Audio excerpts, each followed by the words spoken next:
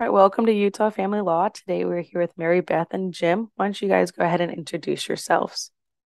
Um, I'm, I'm Jim. Oh, I'm Mary Beth, and I'm a, a, a sober member of Alcoholics Anonymous with a sobriety date of 722 1993.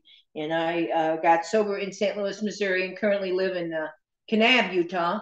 And I've been in Kanab um, since uh, probably about 15, 2015. We've owned our house here in eight and since 08.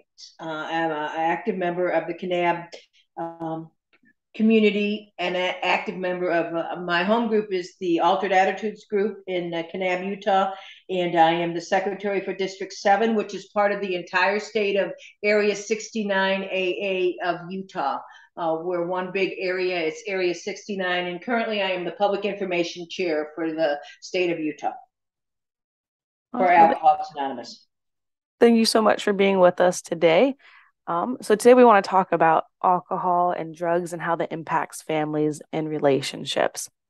So I wanted to go off with my first question about how does alcohol and drugs impact somebody's life? I know that's a pretty broad question, but what are some things that come to mind? If if if you have alcoholism, it, it takes over your life, uh, and and most of the time you're not even aware that that's happened um, it, it pretty much dictated before I got sober. It pretty much dictated what I did, who I hang hung out with, um, what outside activities I did, uh, just pretty much everything. Alcohol for me, this is Mary Beth. Alcohol for me just like reminds me that the levels the playing field. But I was thought I was uh, too right, white, too had too much money, had my own house, had my own car, I had a great education, had I was pursuing a master's, and I didn't think that I would be uh, alcoholic, but it impacted every part of my protoplasm, every little gene I had in me, and you know, family relationships, work relationships, uh, wh- where I ate, when I went out to dinner, whether they had alcohol available on Sunday in the city I lived in, all, all kind of things. So you don't I, I didn't and i would never have admitted this in 1993 92 91 or 89 any of that that uh, alcoholism was such a prominent part of my life. I would have denied it to my core. I denied it with my parents my uh, separate conversations with my my parents and and my my siblings. So in when when I have when one has alcoholism, it's just not my alcoholism. It permeates into the family, my uh, relationships with my, my, siblings, relationship with the people with whom I was dating. It and it's uh, so much of it is all the selfishness and self-centeredness that I projected and would never have admitted that I had. Um, that I was selfish and self-centered and just thought the whole world revolved around me and that wasn't a you know and alcoholism is a is a disease that um, is a is a coded in a in a medical profession so that you can one can get treatment for alcoholism but and i was a nurse educated in college and didn't think i had any kind of problem so it is um just was right in my face until i got called on the carpet by a boss so that's that's how I ended up in alcohol Al- Alcoholics Anonymous. But it it, it impacts it, it impacts your life with finances. It impacts your life emotionally. It impacts all parts of your life. And one can be alcoholic for a long, long time and not even think anything was wrong with their. I, I, I was alcoholic for for at least fifteen years and didn't think there was anything wrong with my life. That, that reminds me of a different question that I didn't pose to earlier, but when do you think people realize or do they ever really realize that they have um, a problem or do people realize they have a problem around them before the individual themselves realize they have an issue? Probably can be both ways. Um, I, I knew when I was 16 years old that I didn't drink like other people. Uh, didn't pay much attention to recognize the fact that other people didn't drink the way I drink, uh, and so, and then and then going on through. So you need to get away from the drugs and the people were doing. That was a big thing for me, and and I, you know, we grew up in the '60s, so the drugs were very prevalent and, and common. Um, but that that was a, that was kind of the thing I heard over and over and over again. That you know you need to get away from the drugs and the people are doing them or the people that you're hanging around with, that kind of thing. Drinking because it was legal was never a big issue or never was brought to light a whole lot until later on. So early, probably up till in my 30s, drinking was even though even though it was a major problem, nobody was saying anything about it. Uh, they had just kind of accepted the fact, I guess, that I, that's the way I was. I don't know.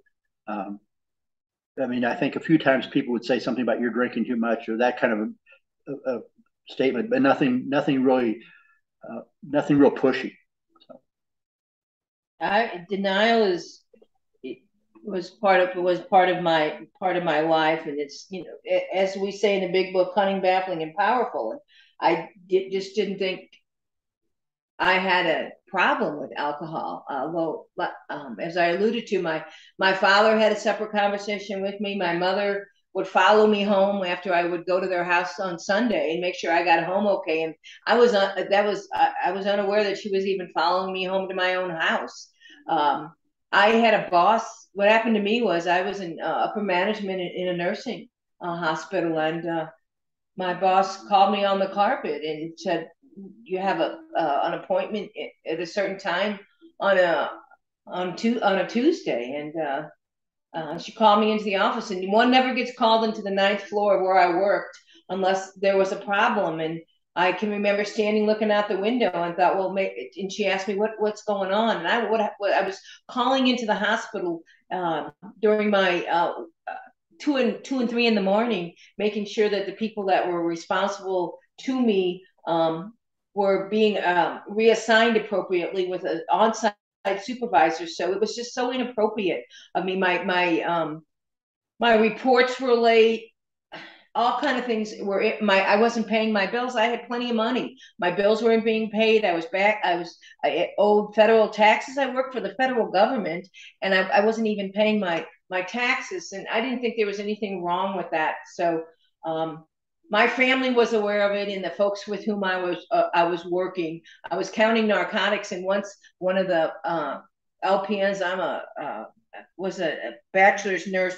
Um, one of the LPNs said, "Well, I smell alcohol in your breath," as as I was counting narcotics. So, I mean, I was I, I was just deny, I just denied everything. And it, denial is the worst thing an alcoholic or drug, drug addict can have. It, even if it hits you in the face, I was I had a DWI three years or four years before I, I went into uh, Alcoholics Anonymous, and I didn't think there was anything wrong with that. I had just too much diet uh, orange soda in the, my backyard with vodka in it uh, to admit that yeah, I was drinking a little bit. So it it was cunning, baffling, and powerful, as we say. Yeah. Do people who struggle with an addiction do they see how they're hurting the people around them, or are they really focused on getting that next fix or getting that next drink that they can't even see the impact they're having on their family and relationships? I um, I knew my parents were concerned. I had had a couple of folks that I was dating that had mentioned uh, about uh, smelling like alcohol prior to picking me up and going out on a date. I, I, I heard those words. I knew my my parents were trying to help me and were concerned. I was completely intoxicated from my younger brother's wedding. Uh, I will I will I won't forget that moment in my life. Um, I and I knew my sister and her husband who lived out of town were were very concerned too, but I just, I, I, guess I just couldn't get there because again, I thought I, I didn't have a problem. Uh, so it, it, does that answer? I don't think that might answer the question. No, it does. Yeah, you're. You didn't think you had a problem, so you couldn't see how what you're doing was hurting others because you had, you know, blinders and, and up, saying. Just, yeah, not just hurting others, but it impacts. It just can destroy relationships or cause so much worry and pain and for other people. So that's when the 12 steps of Alcoholics Anonymous come into play, and one gets to make amends to one's parents. You going to respond, Jim? Yeah, I think I think that I really believe that um, when you're in the middle of it, you know you know you're hurting other people, but but at the same time, uh, one the first step in Alcoholics Anonymous is that you admit you're powerless, and I think the the the recognition of being powerless is not there yet.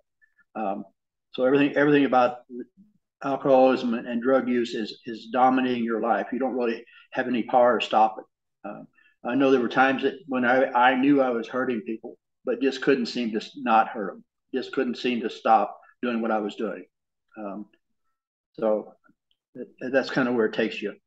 Yeah, and when you look back at it, it, it's it's hard to imagine that I didn't see I had a drinking problem, but there were so many boxes that I I checked and, and was unaware of it, and I, you know, I always thought I didn't hit any of the yet yet.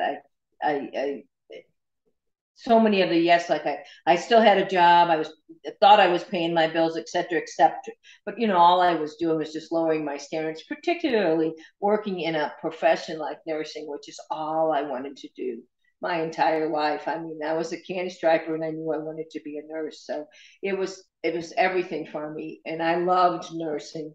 Um, so it's it's it just overtakes you. It overtook my entire life, my brain, and everything. And then, have you seen for people, maybe in your cases as well, like when you do notice on the occasion that you are hurting other people, did that does that make people drink even more because they feel bad for hurting people because they were drinking?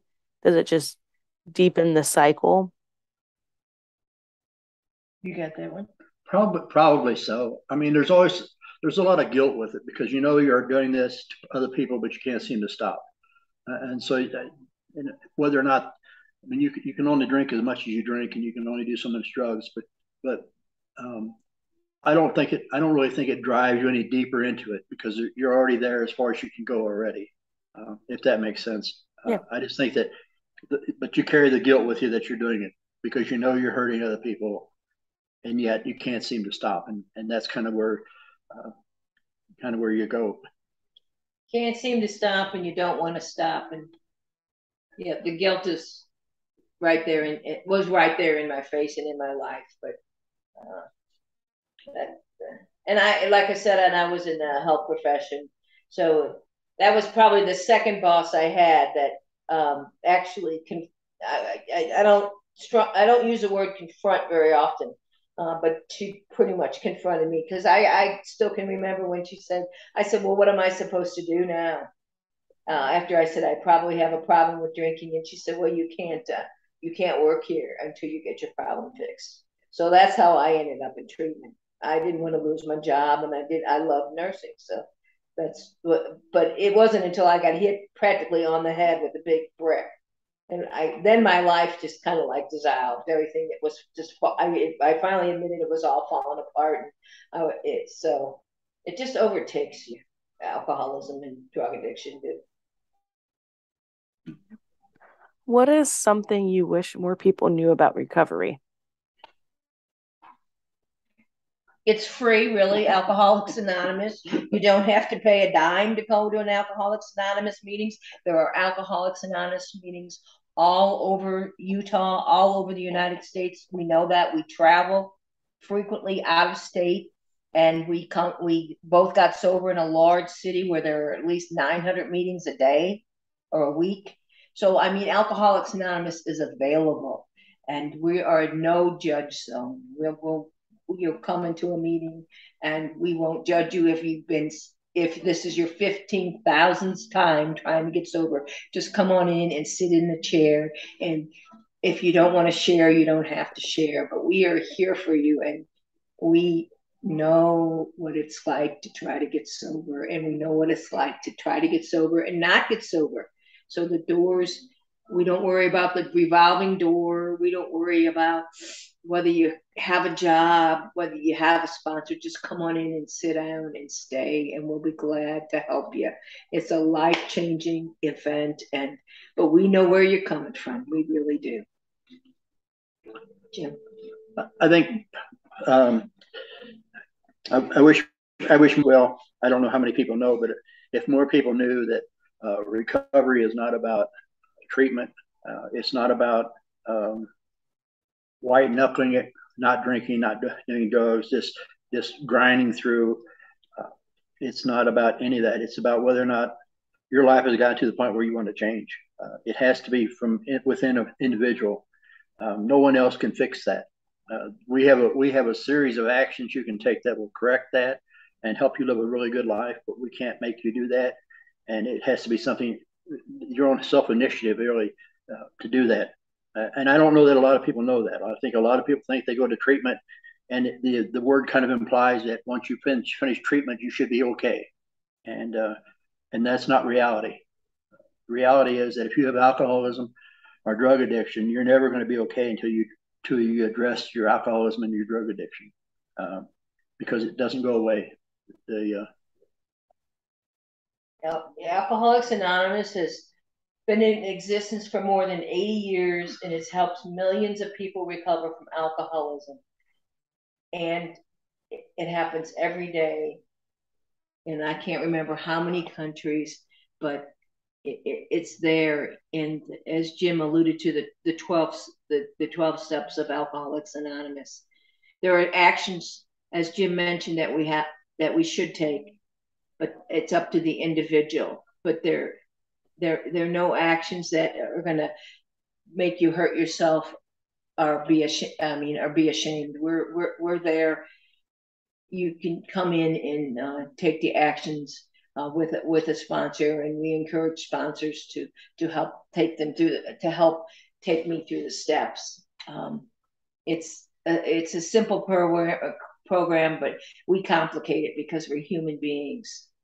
But it's it's available twenty four seven throughout the uh, you know the United States. We have one of the strongest Alcoholics Anonymous programs in the United States, uh, and it's easy to find AA these days because we have it electronically on on our phones, and it's called the Chair app. So it's re- readily available for folks, uh, even when when one is traveling. We we in Kanab, we were able to keep our meetings face to face with Bass during COVID, but we were outside. But that's because I worked with uh, the, the Kane County attorney who said yes. He gave me the suggestions what I needed to do, and we took them and we st- we stayed open during COVID.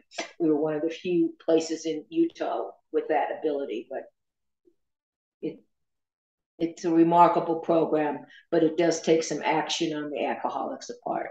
Nothing that none of us haven't uh, already done, and we're there to support the folks. Okay, and you said the app was called the Chair app? Mm-hmm. Yes, it's okay, called the Chair app. I'll put a link of that in the description. Um, and then how can we help someone who is in recovery without it impacting ourselves or becoming an enabler? Um, I, I, if you've been so uh, after you've been sober for a while, you start almost to the point of becoming cynical um, because there's so many people that come, stay a week, stay a month, whatever, and then go back and, and go back to using again. And we see a lot of, I saw a lot of people die, uh, overdose, suicides, whatever. Um, so you, you kind of almost build a, a, a, barrier around yourself. It, it's hard not to be um, very cynical, really, uh, because you, you understand how difficult it is to do. Uh, but at the same time, you can also learn how to set boundaries on where what you uh, will do and won't do. Um, most of the time, uh, at least for myself and Mary Beth, we both have sponsors uh, who are people that have been sober longer than we have, who have gone through the process before, who have good lives or, or living good lives or you know good citizens and everything else, and, and so they're kind of mentors in a, in a big degree. Um, we still have those today. Uh, it doesn't stop. I, I need somebody that I'm accountable to.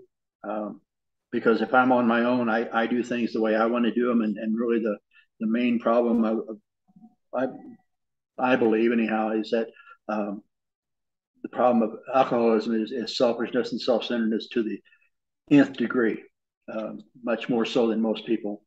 And so if I, if that's all I, if I have somebody that I'm accountable to, then I tend to act better than I, than, than I really feel, act better than I really want to sometimes. Um, because I know I'm going to have to report to that person how I'm behaving and, and get, you know, that never got have got never gotten chewed out, but I always expect that anyhow. Um, hmm. That's good. I think Jim covered it. Sponsorship is, is, is significantly important, and I, I I do have a sponsor that sometimes sponsorship isn't and this is my personal opinion, isn't stressed enough in uh, uh, and it, certainly and I sponsor women here in Kanab, and uh, we're we're working through the twelve steps and the twelve traditions and twelve concepts together. So it, it's it's it's a way I grew up in Alcoholics Anonymous, and Jim's been sober thirty years, and I've been sober twenty nine years, and it, it it still works many many years later. Uh, so it's just really uh, uh, uh, unconditional love one has for another person in in, in uh, other folks women in my life but i'm able to um, somehow say you know this isn't going to work or can, can, can i give you a suggestion uh, for you know i can give you an example of how it, it, it it's not enabling but i do uh, part of my selfishness and self-centeredness tells me that I need to think less of Mary Beth and more of you. So I, in order for me to fall in love with the Alcoholics Anonymous program in the small town of Kanab, Utah, I uh, uh, signed up for a lot of community service. And um, consequently, the folks that I sponsor are getting involved in community service. And uh, I have a, one individual who is just fearful of human beings and doesn't want to interact and doesn't want to talk. But uh, she's um, coming into her, her, own and is able to come to um, community events and, and, help with community events. And it and you know it, it certainly helps her self-esteem and her ability to interact with people. So um, people don't watch what we say they watch what we do and I, I, say that all the time to the to the to the folks in my meet in my home group and in the folks that I sponsor. People really don't. It's it's it's not what I say in the rooms and where the rubber hits the road. It's what what how do I respond to community at a community events and how do I support the community? Because if we didn't have a Kanab, a town of Kanab, and if we didn't have a uh, a community, we wouldn't be having AA meetings here. And this, and we do have ten meetings a week in a small town, which we know is is is pretty uh, uh, exceptional. So, oh, and I wanted to mention to you, Lindsay, that it's called the meeting. It's called the Meeting Guide app, and I, if I can find it's under, it will just they can Google AA Meeting app, and it'll come up Meeting Guide. Okay. It's, it, it's coming out of AA in uh, New York, AA.org. And we have a, pretty uh, up to date aa aaofutah.org uh, website for folks that are interested specifically in meetings in Utah and what's going on in Utah and AA. Our, our, our website is pretty current, Utah website. Okay, I just have uh, two more questions for you. One, for people who don't know exactly how AA works, what exactly is a sponsor? Is it just someone that's been in longer than you that kind of adopts you and helps you? Like, how does sponsorship work within AA? It it uh, generally is not necessarily. Uh, most of the time, it's people that are uh, seem to have uh, their lives in order somewhat. Uh, that that have something about them that's attractive. Uh, the uh, I, I, sponsor people with with more sobriety than myself, uh, not because of anything other than the fact that I, I, guess mostly that I'm willing to listen to them and, and, try to give them some advice. I've had pretty su- good success in being sober, uh, being in business, being married. All those things play a factor in who who, who sponsors me. Um, my previous sponsor died in 2015. Uh, he had been sober for 20 years longer than I was, but at the same time, he had been married long term, um, had a great relationship with his wife, uh, was a very active member of Alcoholics Anonymous. So there was a lot of things about him that was very attractive. He was a businessman, advised me, helped me set up a business, start a business, advised me on how to run the business. So there were a lot more factors in it than just um, just the sobriety part of that. Uh, the, at the same time, he also he and I also also talked a lot about the emotional impact of alcoholism, tra- trauma that we've experienced, because most people have had some trauma in their life that they don't want to address or haven't been able to address. Um, and so there's always something going on that uh, that I need. I need a sounding board so that I can talk to someone uh, and, and get feedback that who's outside of my emotional circle. And, and really, that's what my sponsor has been. Um, I, I trust him explicitly with my life, basically. Uh, and I think that uh, hopefully the people that I sponsor feel that way about me.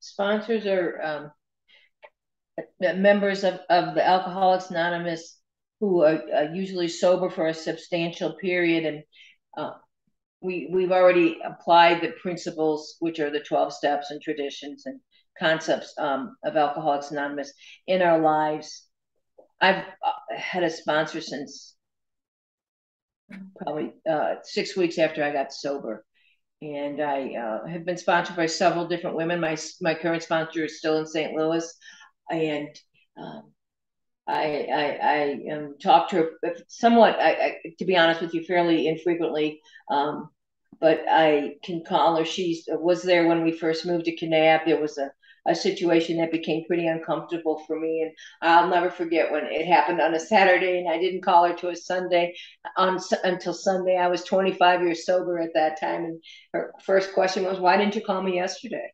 So it's it's things that we can relate to, and uh, she can remain objective and still helpful and loving in in making suggestions uh, towards me and for me when uh, life happens. And you know, life is messy and uh, sometimes not uh, easy to deal with, and people are the same way. And I I was coming from a uh, a culture in St. Louis that was uh, I'm not part of the dominant culture out here in Kanab, and it hit me in the face. And uh, um, figuratively, and uh, Donna was able to help me navigate that that situation and give me suggestions. And uh, so I'm uh, just always grateful for the sponsorship, for the enthusiasm, and the oh, it's okay.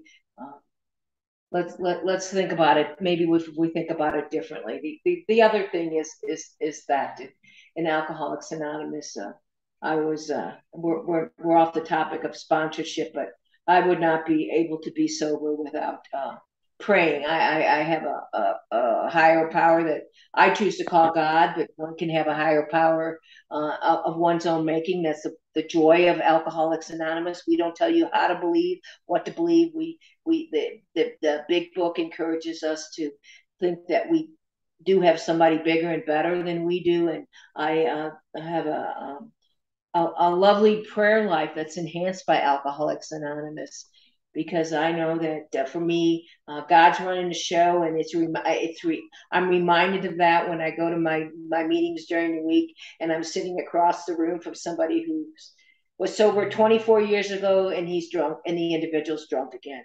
and I'm, I'm I, he he's he says I want to change my life, so it's uh it's a powerful program it's a powerful program, but it's there's a lot of uh, some important details like sponsorship and the 12 steps that help me stay sober. Thank you. I have one last question for you guys. What do I do if someone I love is struggling with addiction? You can contact uh, AA, uh, AA of Utah.org or just Google AA um, and there's a uh, a couple of uh, there's a lot of information online. There's a lot of psas public service announcements that are online to uh, help individuals uh, try to help their um, loved ones or their friends so AA, ha- we have a lot of information out there, and you can always find someone. You that people are welcome to call the the Utah office in uh, Salt Lake. We have folks that answer it. We have a Dixie office in St. George. Folks answer that. Um, those um, telephone uh, numbers and those lines are readily available, and folks are are are answering that uh, twenty four seven. So uh, uh, information is available, and either one of us would be glad to give out our phone numbers. We'd be glad to help anyone try to navigate the program of Alcoholics Anonymous uh, or get to a meeting. On a, on a more personal level, if um, if if you have someone who's a, a an alcoholism and, and addiction, the, there are sister programs, Al-Anon and um, NAA, that that are recommended for people that have family members or our spouses or siblings or whoever uh, that they're emotionally attached to that are uh, having issues that, that they go to that.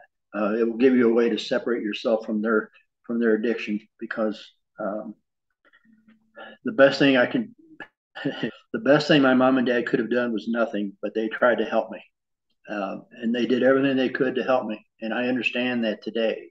Uh, they love me so much it almost killed me uh, because they would tell me I shouldn't be doing this, but then they would bail me out of jail, which almost gave me permission to keep doing it. So the less involved I get in the addiction of someone else, the better off I am, and the better off they are, because the less resources they have to fall back on whenever they're in the middle of it, the more apt they are to start looking at themselves and, and trying to make some changes. Sometimes the best thing that individuals can do for folks, their siblings or their friends, is just leave them in jail. To be honest with you, just leave them there and let them. Um, we have a drug, a great drug court here in Kane County. Sometimes it's successful, sometimes it isn't. But as Jim alluded to, there's Narcotics Anonymous meetings available readily, uh, also in the state of Utah that can help folks with the uh, drug addiction issues. Well, thank you guys so much for sharing your knowledge and information about AA. Is anything else you want to add here at the end or want to leave us with your contact information I can put in the bio of the video? Anything else, last words you want to add? My, my phone number is uh, 314 750 3253. Women, women are welcome to call me, and Jim's number is 314 750 8817.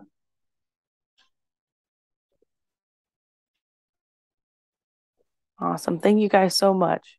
Any And last wanna- words? Yeah, go ahead. Yeah, yeah, we want to thank the uh, U, the Utah uh, From my family. My Family Law uh, for doing this and for uh, trying uh, helping people because it's uh, it, it's just uh, uh, significant a significant disease that eats up lots and lots of money, resources, and families and lives. So uh, I applaud you for this. I really do. So thank you for reaching out. I know you went the long way to get to us, but you went the way that is was uh, was through the uh, AA Uh, in in New York, and it got kicked down to what we call our delegates, and they sent it to me because I'm the public information person. So the process did work, and it, it was a, a, a, real surprise. But thank you. This was a blessing for both of us to participate in this. It, it brings it home right in my right to our right to my face anyway. So thank you very much. I want to applaud the the Utah Family Law Service for doing this. Thank you. Thank you very much.